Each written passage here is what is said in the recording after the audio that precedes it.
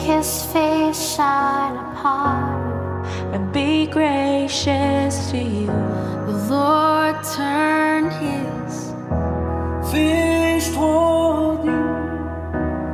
and give you peace.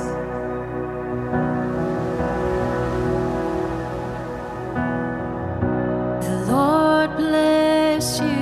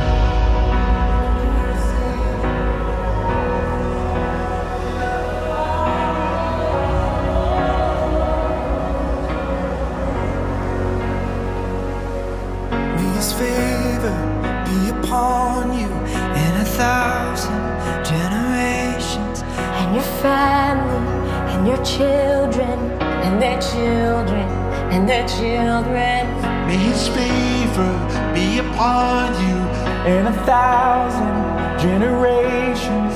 And your family and your children. and their children and their children May his favor